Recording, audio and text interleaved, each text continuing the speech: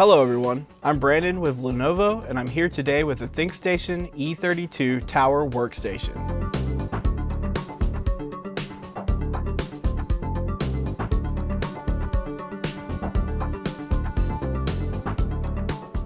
Today we're going to be replacing the memory module. This process will take about 10 minutes and it should be easy enough for anyone to do.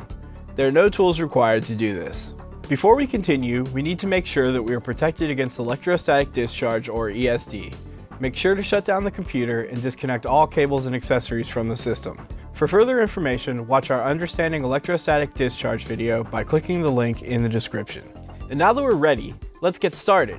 Before removing the computer cover, we must first remove two thumb screws.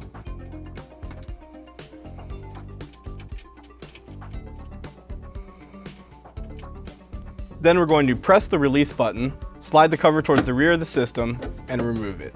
To remove the memory module, we need to press outward on the two clips to release the module, and then grasp the module by the edges and lift it up and out of the socket.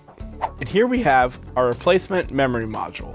When replacing the memory module, it is important that the notch on the module is aligned with the tab in the socket.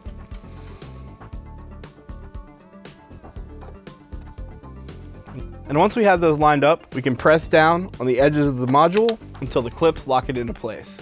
When replacing the cover, it is important that the tabs on the inside of the cover line up with the holes in the chassis. Then once you have those lined up, you just slide the cover towards the front of the system. Now we're going to replace two thumb screws.